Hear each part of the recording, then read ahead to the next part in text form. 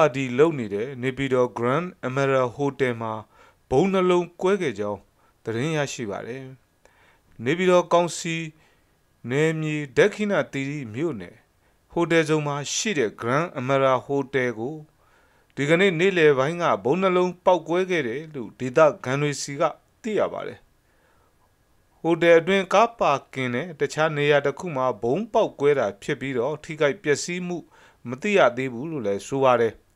နေ့လယ်2နာရီလောက်မှာကွဲတာကွဲတာကနှလုံးကွဲတာလို့သိရပါတယ်။ကားပါကင်နဲ့နောက်တနေရာရဲ့ဘာတွေဖြစ်လဲတော့အသေးစိတ်မသိဘူး။အဲ့ဒီဟိုတယ်ကအခုရက်ပိုင်းပါတီကျင်းပနေတာပါအစစ်ဆေးတွေတော့ရှိနေတာပဲလို့နေပြည်တော်ဒေသခံတဦးကပြောပါတယ်